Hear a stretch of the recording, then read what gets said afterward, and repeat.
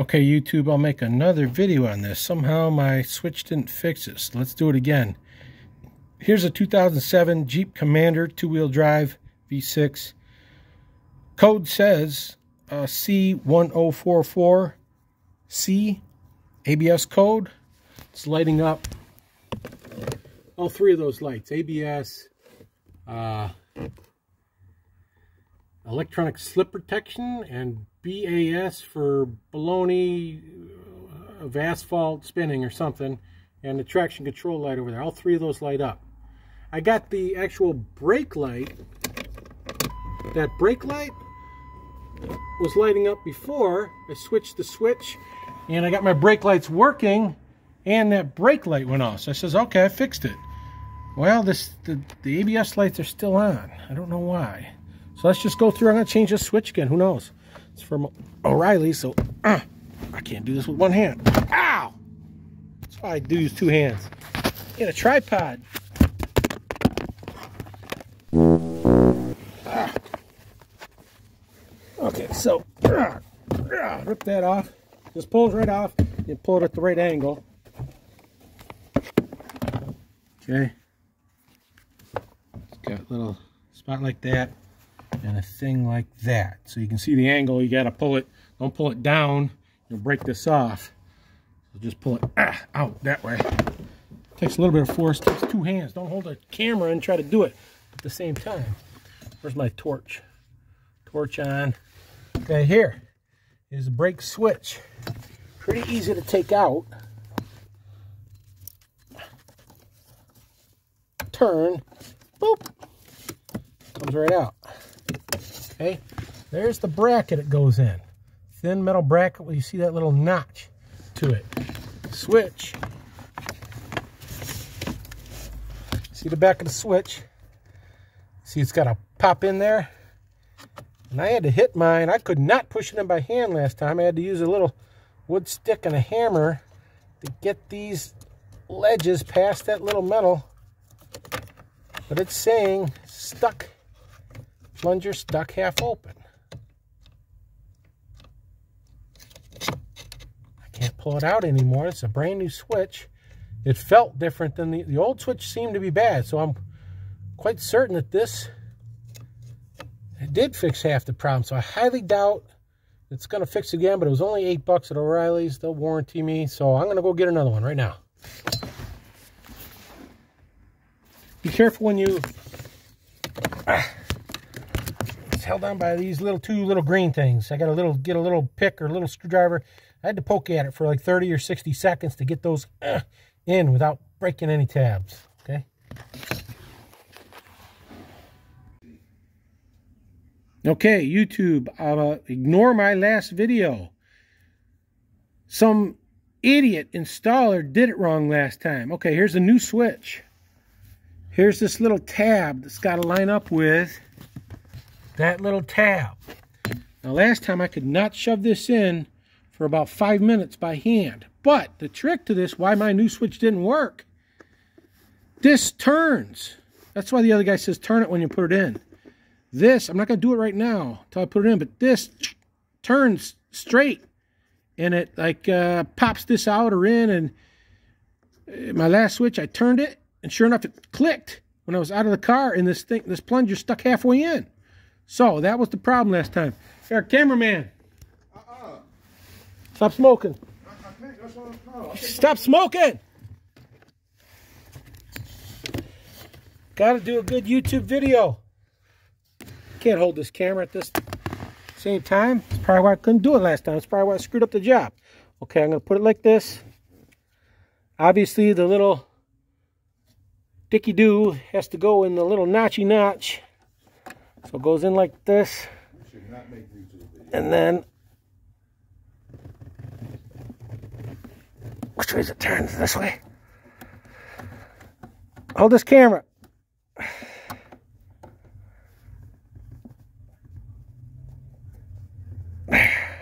Click. Oh, I busted it. Busted it. See? See how it's turned now? Hold this camera. Okay. I got busted the new switch.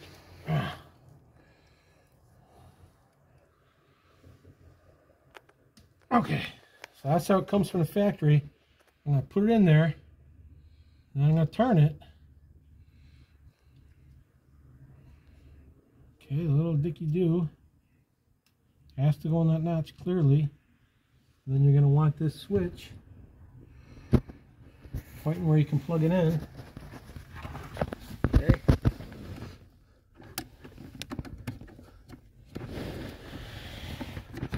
Try to go like over, well, I don't know if you can see it in there. Man, this is hard. So I couldn't do it last time. I could not get this in. Five minutes shoving on this thing.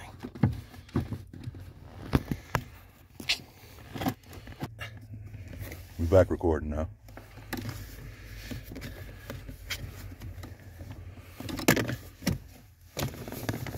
Darn it. Stuff. Okay, here's a little thingy majiggy. Plunger goes like this, but this sn snaps over once you turn it. Once you put it in there, I'm going to turn this, and it's going to turn this thing to be lined up with this. Let's try it again. It's only one way to go when you first put it in. The sticky do has to line up with the notch.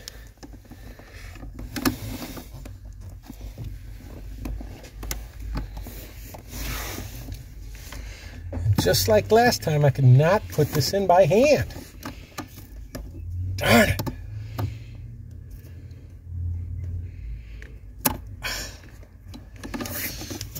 See?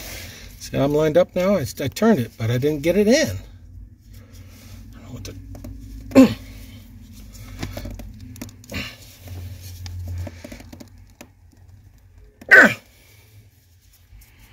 Your robo grips. Okay, I got it. See that? Did you get it on camera? Oh, I got it. Everything's the it there. snapped? Heard the snap and all of that. Okay, so With the dicky do. this should like pop past the little metal flange. You obviously got to line up the dicky do with the notchy notch. and then when you install it, you click turn it. And somehow it changes the action of this plunger once you do that. Man. Try again. I'm going to show this. The struggle is real, man. I'm not going to show it's real easy. Because I could not do this for five minutes last time. I ended up slamming it with a hammer to get it in there. Well, that didn't work. It doesn't go.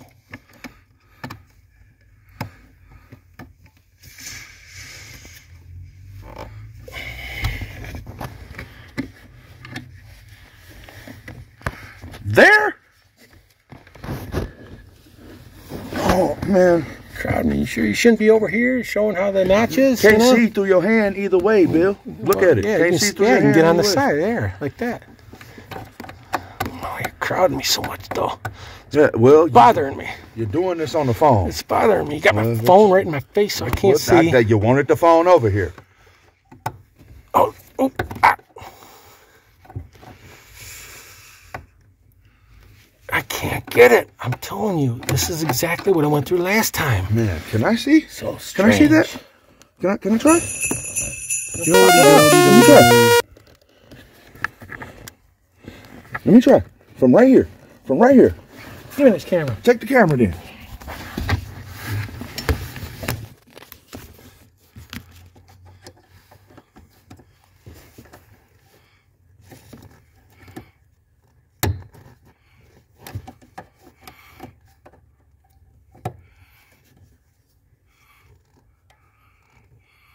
And then you turn it.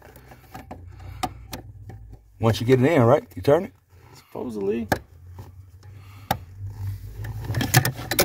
Oh, it's not easy.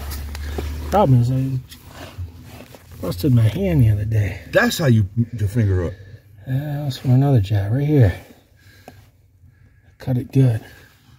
Underside of a hood. What are you doing? It's in there What are you doing? on the light. There you go. Hold this camera. Okay, this is not turned right now. Mm-mm. I didn't turn it. I was It's just, a I simple really was just trying to line This everything up. There. You're gonna get it past these little. This little ridge is gonna hold on the the metal uh, bracket. It's a real thin piece of metal, and it's gonna go to there, and that's what's gonna hold the little spring tension of this. So it should be real easy. As shown on YouTube, it's easy.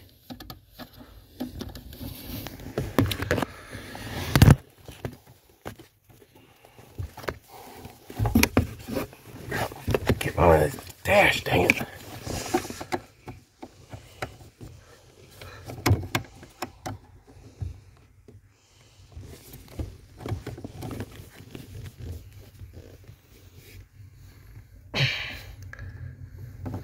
That might be it.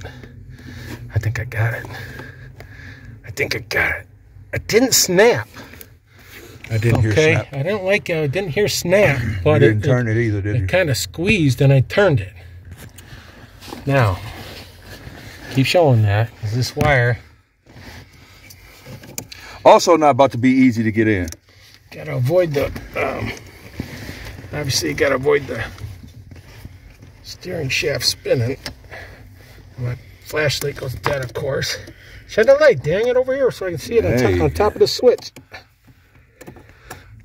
There you go. No, you're cold. You remember how you did this the first time? Come on. You remember that girl behind your old Catholic school? You remember how to do this? I can't find a hole. There you go.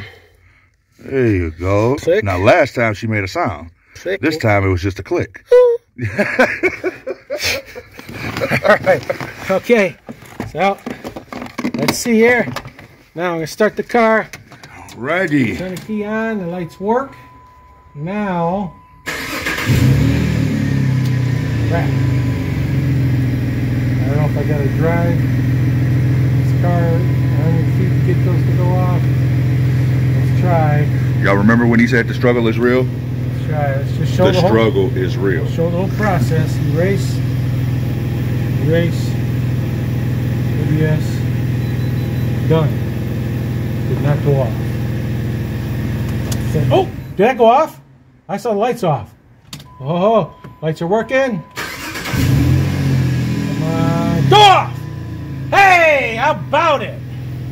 He gets so excited, you How guys. about it? Zero DTC detected. That's how you do it. Man, eight dollars. Black Lives Matter. You don't need to pay no two hundred fifty-nine dollars to the dealership. Eight bucks. And we know what the hell we're doing now. The struggle is real.